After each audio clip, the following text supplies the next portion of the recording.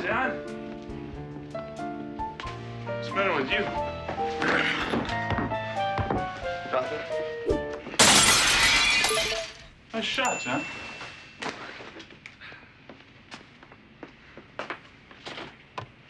It'll help.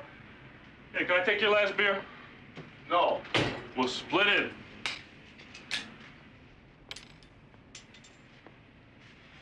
I've had an interesting morning. In the last two hours, I've lost my job, my apartment, my car, and my girlfriend. You still have your health.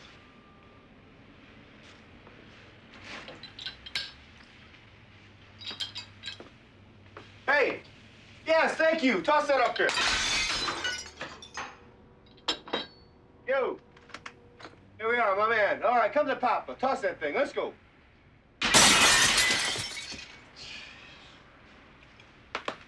Thank you. The Army can make you feel a lot of ways. Tired, challenged, trained. This doesn't look bad. What, the army? You're kidding. No, I've always thought about joining the army. Bullshit, you're not the type.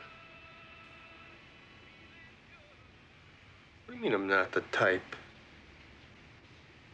I've seen the kind of guys that enlist in the army. I saw them when I was working on unemployment. They're just like us, except they're not as sophisticated.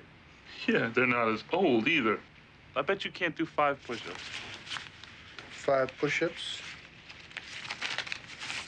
I got three dollars. Says I can do five push-ups. Okay, let's go. Five good ones. Come on. Not marine push-ups. No, simple push-ups.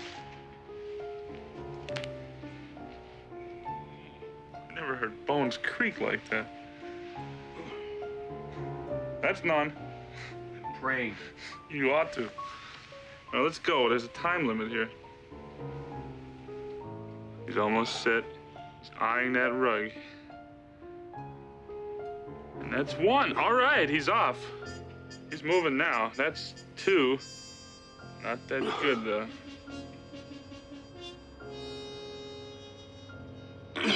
That's three.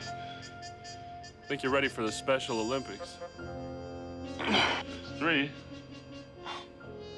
Four. Four. I was testing you.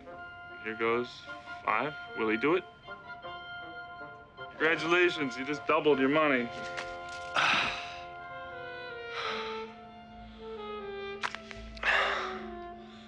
I gotta get in shape. I gotta dry out or I'll be dead before I'm 30.